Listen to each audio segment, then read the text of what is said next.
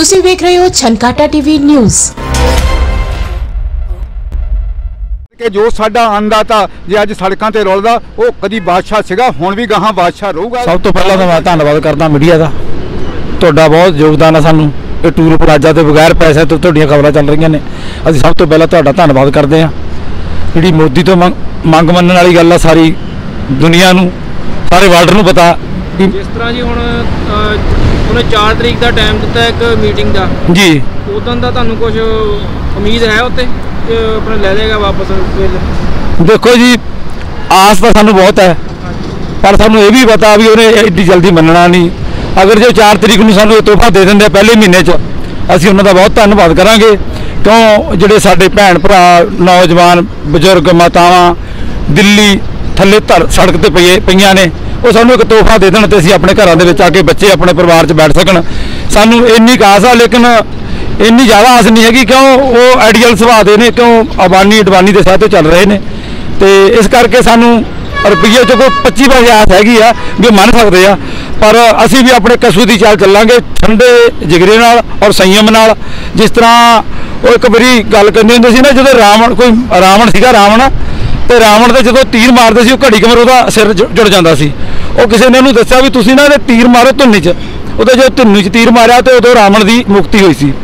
ਤੇ ਇਹ ਜਿਹੜਾ ਆਪਣੀ ਲੜਾਈ ਆ, ਇਹ ਵੀ ਥੋੜਾ ਮੈਂ ਤੁਹਾਨੂੰ ਇੱਕ ਮਿਸਾਲ ਦੇਣੀ ਚਾਹੁੰਦਾ ਵੀ ਇਹ ਵੀ ਲੜਾਈ ਤੇ ਇਸੇ ਤਰ੍ਹਾਂ ਦੀ ਆ ਵੀ ਇੱਕ ਜਿਹੜਾ ਮੋਦੀ ਸਰ- ਬਣਾਇਆ ਪ੍ਰਧਾਨ ਮੰਤਰੀ, ਇਹਨੂੰ ਢਾਉਣ ਵਾਸਤੇ ਆਪਾਂ ਨੂੰ ਪੰਜਾਬੀ 'ਚ ਮੈਂ ਤੁਹਾਨੂੰ ਦੱਸ ਦਿੰਦਾ ਵੀ ਜਿਹੜੀਆਂ ਬਟਨ ਵਾਲੀਆਂ ਮਸ਼ੀਨਾਂ ਨੇ, ਜਿੰਨਾ ਚਿਰ ਇਹ ਬਟਨ ਵਾਲੀਆਂ ਮਸ਼ੀਨਾਂ ਬੰਦ ਨਹੀਂ ਹੁੰਦੀਆਂ, ਉਹਨਾਂ ਚਿਰ ਮੋਦੀ ਸਰਕਾਰ ਨੂੰ ਪਰਵਾਹ ਨਹੀਂ, ਨਾ ਇਹ ਇਹਨੂੰ ਕੋਈ ਲਾਹ ਸਕਦਾ।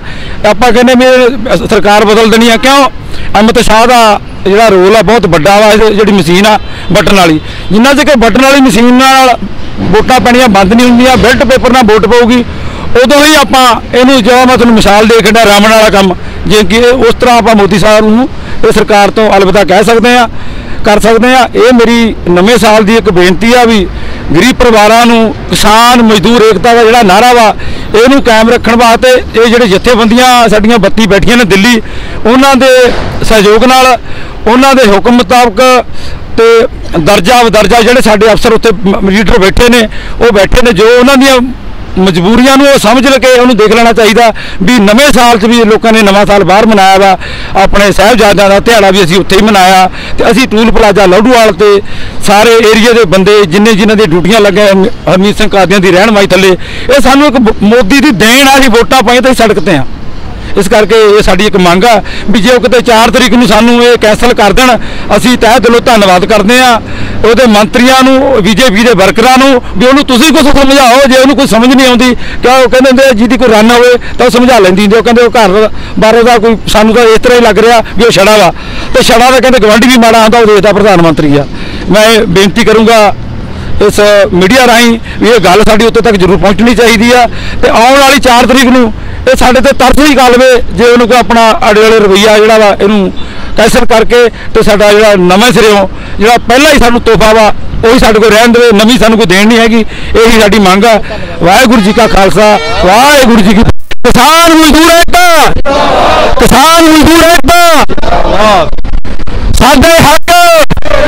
ਸਾਡੇ ਹੱਕ ਮੋਦੀ ਸਰਕਾਰ ਕਿਸਾਨ ਮਜ਼ਦੂਰ ਏਕਤਾ ਵਾਹਿਗੁਰੂ ਜੀ ਕਾ ਖਾਲਸਾ, ਸ੍ਰੀ ਵਾਹਿਗੁਰੂ ਜੀ ਕੀ ਫਤਿਹ। ਵਾਹਿਗੁਰੂ ਜੀ ਕਾ ਖਾਲਸਾ, ਵਾਹਿਗੁਰੂ ਜੀ ਕੀ ਫਤਿਹ। ਇਹ ਜੋ ਕਾਫੀ ਸਮੇਂ ਤੋਂ ਕਿਸਾਨ ਅੰਦੋਲਨ ਚੱਲ ਰਿਹਾ, ਮੋਦੀ ਸਰਕਾਰ ਨੇ ਜੋ ਤਿੰਨ ਕਾਨੂੰਨ ਬਣਾਏ, ਔਰ ਬੜੇ ਘਾਤਕ ਹੈ ਜ਼ਿਮੀਂਦਾਰਾਂ ਲਈ, ਇਸ ਕਰਕੇ ਇਹ ਮੋਰਚਾ ਲਾਇਆ। ਲੇਕਿਨ ਜਿੱਥੇ ਹਿੰਦੁਸਤਾਨ ਦੇ ਪੰਜਾਬ ਦੇ ਜ਼ਿਆਦਾ ਮਹਾਂਪੁਰਸ਼ਾਂ ਦਾ ਸੰਯੋਗ ਜਿੱਥੇ ਵਿਦਿਆ ਦਾ ਸਹਿਯੋਗ ਔਰ ਉੱਥੇ ਇਸ ਮੁੱਦੇ ਨੂੰ ਝੁਕਣਾ ਪੈਣਾ ਆਪਾਂ ਗੁਰੂ ਕਰਨਾ ਜੇ ਅਰਦਾਸ ਬੇਨਤੀ ਸਾਰੇ ਕਰਦੇ ਰਹੀਏ। ਔਰ ਗੁਰੂ ਐਸਾ ਇਹ ਅੰਦੋਲਨ ਨੂੰ ਸਫਲਤਾ ਬਖਸ਼ਣ ਕੇ ਜਿਹੜਾ ਕਿ ਮੋਦੀ ਨੂੰ ਪਤਾ ਲੱਗ ਜਾਊਗਾ ਕਿ ਪੰਜਾਬ ਦਾ ਕਿਸਾਨ, ਪੰਜਾਬ ਦੇ ਲੋਕ ਆਪਣਾ ਹੱਕ ਕਿਵੇਂ ਲੈਣਾ ਜਾਣਦੇ ਹਨ। ਮੈਂ ਬਾਬਾ ਸਾਹਿਬ ਸਿੰਘ ਖਾਲਸਾ ਰਜਿਸਟ ਪੰਜਾਬ ਯੂਨੀਵਰਸਿਟੀ ਜਥੇਬੰਦੀ ਵੱਲੋਂ ਦਿੱਲੀ ਵੀ ਜਾ ਕੇ ਆਇਆ। ਅੱਜ ਉੱਥੇ ਵੀ ਲੰਗਰ ਛਕਿਆ। ਔਰ ਉੱਥੇ ਮੈਂ ਪੂਰੇ ਜ਼ਿਮੀਂਦਾਰਾਂ ਨੂੰ ਹੌਸਲਾ ਦਿੰਦਾ। ਔਰ ਗੁਰਦੁਆਰਾ ਬਾਬਾ ਸਾਹਿਬ ਸਿੰਘ ਅਨੰਦਪੁਰ ਸਾਹਿਬ ਵੱਲੋਂ ਵੀ ਜਾ ਕੇ ਆਇਆ। ਇਸ ਕਰਕੇ ਅਸੀਂ ਬੇਨਤੀ ਕਰਦੇ ਹਾਂ ਕਿ ਬਿਲਕੁਲ ਅਰਦਾਸ ਬੇਨਤੀ ਕਰੋ, ਕਦੇ ਵੀ ਬੇਤੀ ਕਦੇ ਨਾ ਹੋਵੇ, ਜਨ ਕੀ ਅਰਦਾਸ, ਨਾਨਕ ਜੋੜ ਗੋਬਿੰਦ ਕਾ ਪੂਰਨ ਗੁਣਤਾ ਸਾਡੇ ਕੋਲ ਅਰਦਾਸ ਹੈ, ਅਰਦਾਸ ਦੀ ਤਾਕਤ ਹੈ। ਇਹ ਮੋਦੀ ਨੂੰ ਝੁਕਣਾ ਪੈਣਾ ਝੁਕ ਰਹੇਗਾ ਔਰ ਜੀਵ ਕਿਸਾਨ ਅੰਦੋਲਨ ਜਿੱਤ ਹੋਏਗੀ ਔਰ ਜਿੱਤ ਹੋ ਕੇ ਰਹੇਗੀ। ਵਾਹਿਗੁਰੂ ਜੀ ਕਾ ਖਾਲਸਾ, ਵਾਹਿਗੁਰੂ ਜੀ ਕੀ ਫਤਿਹ। ਹਾਂਜੀ ਬਾਬਾ ਜੀ, ਤੁਸੀਂ ਕੀ ਕਹਿਣਾ ਚਾਹੋਗੇ ਇਹਦੇ ਬਾਰੇ? ਕਿੰਨਾ ਟਾਈਮ ਲੱਗ ਸਕਦਾ ਹੈਗਾ? ਵਾਹਿਗੁਰੂ ਜੀ ਕਾ ਖਾਲਸਾ, ਵਾਹਿਗੁਰੂ ਜੀ ਕੀ ਫਤਿਹ। ਜਿਹੜੀਆਂ ਮੂਵਮੈਂਟਾਂ ਹੁੰਦੀਆਂ, ਉਹਨਾਂ ਦਾ ਕੋਈ ਟਾਈਮ ਨਹੀਂ ਹੁੰਦਾ ਹੈਗਾ। ਕਿਉਂਕਿ ਜਿਹੜੇ ਮੋਰਚੇ ਆ 19 19 ਮਹੀਨੇ ਵੀ ਚੱਲੇ ਆ 2 2 ਸਾਲ 3 3 ਸਾਲ ਵੀ ਚੱਲੇ ਹੈਗੇ ਆ।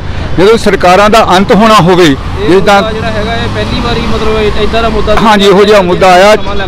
ਤੇ ਬਾਕੀ ਗੁਰੂ ਮਹਾਰਾਜ ਦੀ ਕਿਰਪਾ ਨਾਲ ਇੰਨੀ ਸ਼ਾਂਤੀ ਦੇ ਨਾਲ ਇੰਨੇ ਪੀਸਫੁਲ ਜਿਹੜਾ ਹੈ ਅੰਦੋਲਨ ਕੋਈ ਵੀ ਨਹੀਂ ਹੋਇਆ ਹੈਗਾ।